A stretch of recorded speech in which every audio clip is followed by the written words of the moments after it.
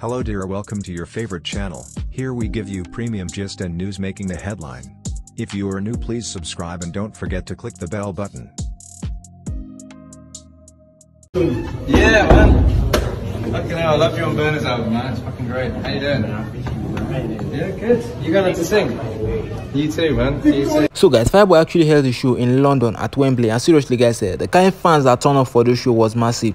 Ed Sheeran was even there and to crown it all, Ed Sheeran was among the fans singing and vibing to Fireboy's bandana. Seriously, that was a massive one. And then another thing that really stuck a lot of fans was when Ed Sheeran and Victony linked up backstage Many people have echoed that there's going to be a collaboration since these two celebrities have actually linked up. You know, this was how Ed Sheeran and Fireboy actually linked up when they did Peru remix, and now Victony and Ed Sheeran have linked up again. I don't know whether they want to do Soweto remix. For now, we don't really know what it is, but whatever it is, I know that many fans will be really excited to get it. I'll just let you all to enjoy the rest of the video as you see Olamide vibing to Fireboy's song, and also took him to the club to party hard after they shut down London. Do well to share an opinion what you think about everything in the comment section, guys. I'll be right there waiting to reply to all your comments. Thank you for watching watching. I will see you all again in another of my video.